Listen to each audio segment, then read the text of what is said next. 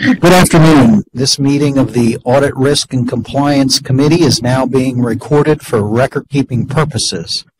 By participating in this session, you are consenting to the recording, retention, and future viewing of this meeting. This meeting is now being live streamed. Please proceed. Thank you.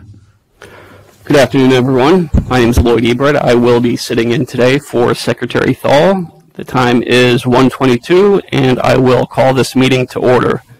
Uh, first item on our agenda is a roll call. Uh, Karen, could you lead us through that? Sure. Mr. Becker?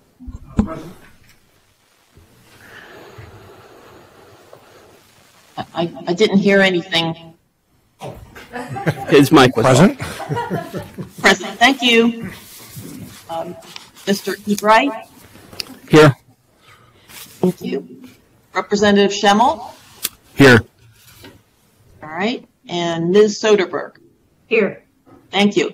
And uh, Secretary Thal will be joining us a little later. Uh, We do have uh, four members present, so we have a quorum. Thank you. Thank you. Uh, the next item on our agenda is approval of the minutes from the September 28th, 2021 meeting. May I have a motion to approve the minutes? So moved. So moved. Moved by Glenn. May I have a second? Second. Second. Give me the second. Um, all in favor, say aye. Aye. Opposed?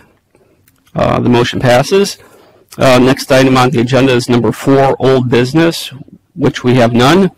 Uh, Next item after that is special presentations, which is also uh, none.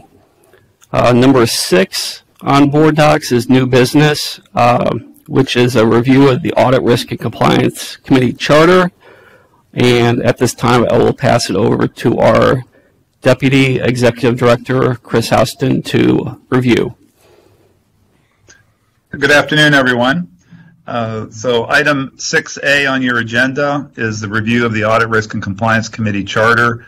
Uh, Included in administrative content, you'll find a number of documents, including a memorandum from me to the committee, along with a draft of the uh, revisions to the Audit Risk and Compliance Committee Charter. Uh, You also see that we just uploaded this morning a later revision uh, to the, uh, to the proposed charter based on conversation that we had with Mr. Ebright prior to the meeting on behalf of the treasurer, which I'll go over in a minute.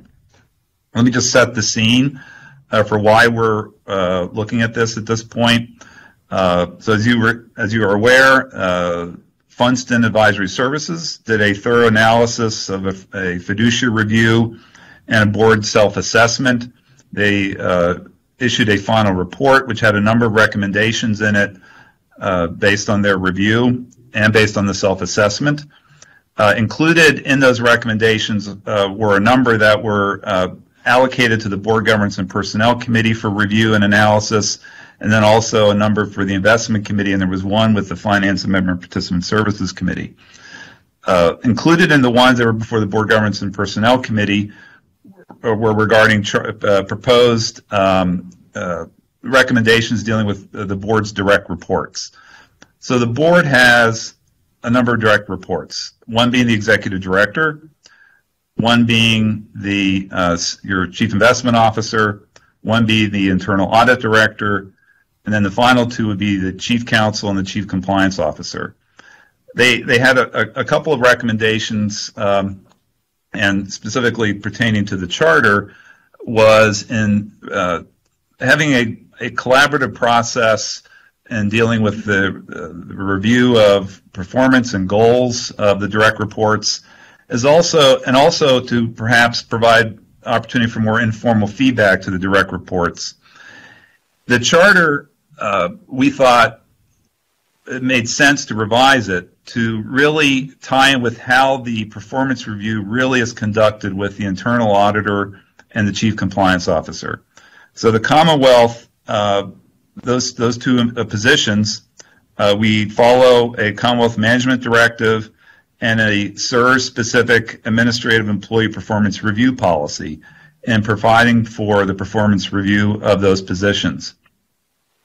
We revised the language to specifically provide that we're looking for the committee to provide input to the to the uh, position that provides the uh, that, that's we'll call the uh, uh, the officer that's in charge, if you will, of, of, of providing for the, the performance review. So we revised the language to provide for that input directly from the committee to, in the case of the internal audit director, to the executive director, uh, and then for the chief, chief compliance officer, we provided that that that input would be provided directly to the executive director, and as is the case today, if the position, the chief compliance officer position, is administratively housed in the chief counsel's office, to the chief counsel, who would then conduct the evaluation pursuant to the employee performance review pro- uh, process. We also, uh, through that process, provides for an interim progress review during the year. So that kind of addresses, if you will, the uh, informal feedback to be provided to uh, those positions. And it, frankly, it can be done anytime through the year. But so it really meshes, if you will, with how we actually conduct our performance reviews. Um, now, based on a conversation that we had late yesterday uh, with with Lloyd, and I'll, I'll turn it to Lloyd to, to speak to the, the issue that he raised. Uh, and then you'll find in your uh, administrative content in board docs, we uploaded, it's item 6A5, uh, which is a latest red line. And what we've done, and we've added some language at the end of it, which basically provides that with whatever input is received from the members, from each member, we want that to be included in the evaluation. So, Lloyd, I don't know if you want to want to speak to that. Um, no, actually, I think that summarizes it pretty well. We just wanted to uh, ensure that each member's feedback was included in the evaluation. Right. So, uh, so as I said, the, the latest version of that is document 6A5. And I'll just read uh, for each of those positions how it would read if you agree that uh, these amendments are appropriate. Uh, so for the uh, uh, for the internal audit director, it would read: the committee shall provide input to the executive director in the evaluation of the internal audit director, with the input received from each member to be included in the evaluation. And then for the chief compliance officer, it would read: the committee shall have input into the candidate search process and selection of the Chief Compliance Officer. In addition, the committee shall provide input to the Executive Director and uh, if the Chief Compliance Officer position is administratively housed in the Chief Counsel's office, the Chief Counsel, with the input received from each member to be included in the evaluation. I see Mary, do you have a question? Yeah, just a, a quick, quick question. Am I. Um, are you referring to the committee of the? Are you referring to the members of the committee? Or? Members of the committee. Members of the committee, Mary. Okay, so not all of the members of the board. Correct. Okay. All right. Yeah. Um, Chris, I, I think you misread the um, paragraph concerning the uh, chief compliance officer. You, you left out a clause, I think. It In says that the chief Yes, if the chief compliance officer position is administratively housed in the chief counsel's office, the chief counsel, uh, in the evaluation of the chief compliance officer, with the input received from each member to be included, there, there's there's extra clause there. Oh, I'm sorry. Yes. Um, so the process going forward is if this committee uh, is desirous of amending the charter, you would take that action today and make a recommendation to the board for approval of the amendments. However, the Board Governance and Personnel Committee, which will be meeting after this meeting, would then be reviewing uh, that same charter revision and then taking action to concur with this committee's uh, recommendation for approval and then notify the board. And then the process uh, pursuant to our bylaws is if there are any charter amendments, that there's a 15-day advance notice period to the board before we act on those. So these charter amendments wouldn't officially then be acted by the board until they meet uh, in the beginning of next year. So I'll open it up for any further questions or comments. Oh, Terry, did you want to make a com comment? if no if no board members have any. I don't see any hands. Okay. I just wanted to clarify, it looks like what was removed was that the evaluation would be reported by the committee to the board, and that was taken out. I just wanted to make sure that that was intentional. Yes. Okay, very good.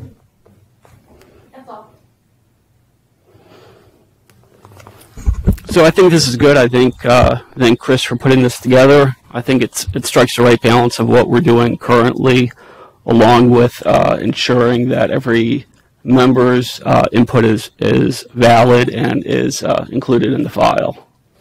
So with that, I, I do have, unless there are, are any other questions, I do have a motion I would like to read. And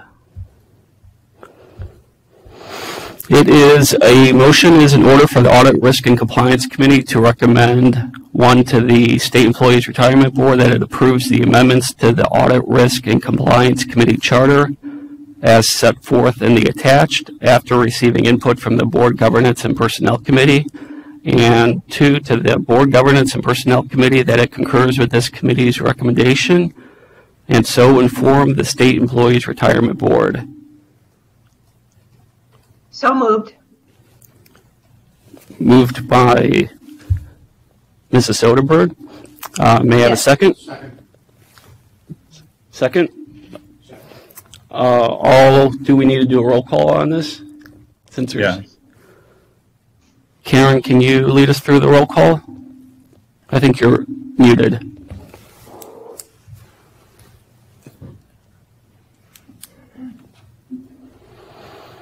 Sorry about that. Uh, Mr. Becker, Aye. uh, Mr. Ebright, Aye. Representative Schemmel, Aye. And Ms. Soderberg. Aye. And uh, Secretary Thal is absent currently. It is unanimous for the members that are present. Great, thank you. Um, th- The next item on our agenda is 6B, the State Employees Retirement Board Draft Internal Audit Office Charter. Uh, Chris, do you want to provide a summary on that too? I can speak to it, Lloyd. Um, the charter is, uh, is an informational item only. It's uh, an advanced copy, uh, and we will be uh, actually reviewing it uh, and presenting it formally to the committee uh, in early, early next year. Okay, thank you. So next on our agenda, I think we're going right to executive session to uh, discuss a number of items which are on the agenda. Um, Joe, is there? Do we uh, have legal to uh, uh, make the statement of going into executive session? Yes, please. Joe will be right there.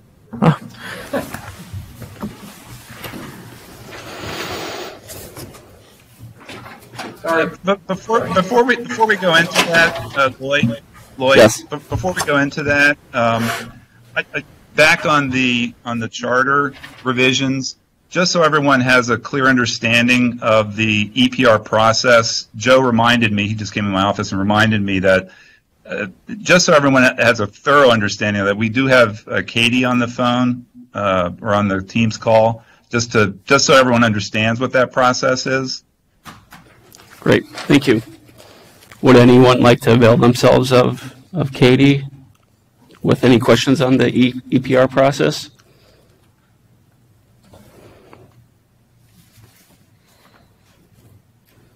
Okay, I think we're good. Joe, can you read the statement? So so going to the um, executive session agenda, the Sunshine Act allows an executive session, whoops, yes, allows an executive session to consult with auditors on their work plans, the results of their audits, and their work papers. All of the items on the executive session, the um, KPMG's 2021 audit plan strategy, the compliance officer update, the internal audit office update, the review of due diligence and all the other items, the results of the Green Book, uh, the review of the performance goals, and the COSO Green Book status reports all fall within the uh, acceptable privileged or confidential discussions allowed in executive session. Thank you. Do, do we need to make a motion to go into executive session? You do not. No, but before you go into executive session, please uh, give us a minute to make a few technical changes here in the boardroom on your behalf.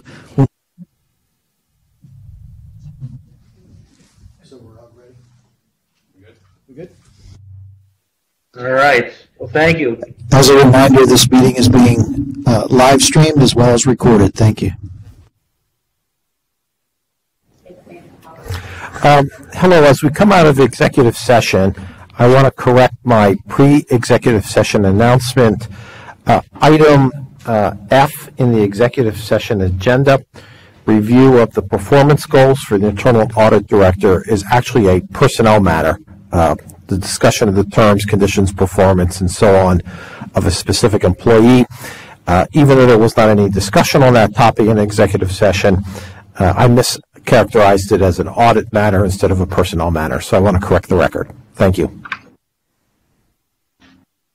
Thank you. Um, I think, are there any committee uh, comments, concerns, or questions? Seeing none, our next um, committee meeting is in February, um, and a motion to adjourn is in order. So moved. And I'll second it. And any, um, all in favor say aye. Aye. Aye. All opposed, nay. The ayes carry. Um, thank you, everyone, and thank you for your patience and accommodation. And I look forward to the Board Governance Committee meeting next. Thank you.